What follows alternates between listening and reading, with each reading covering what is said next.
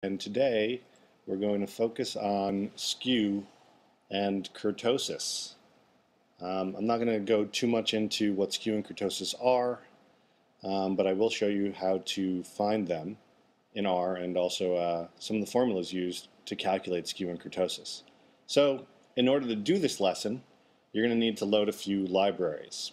To load the libraries, you have to type in install.packages open parens, close parens, um, hit enter, and then you'll either be asked for location or you'll get a window where you could choose the library that you'd like to install. That's if you've done it before.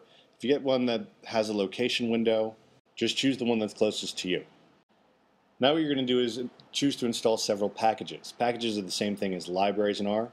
The ones you're going to install are psych, Foreign, Nortest, MRT, CAR, and mvnormtest. Once you've installed the packages, you'll need to load them.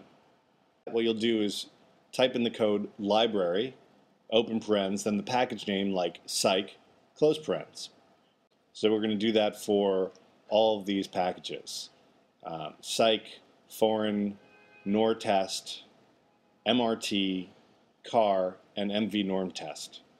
Now you'll notice this one that I just typed in uh, had some dependencies. And so it actually had to load up some of the other packages. Um, for instance, attaching package HMISC.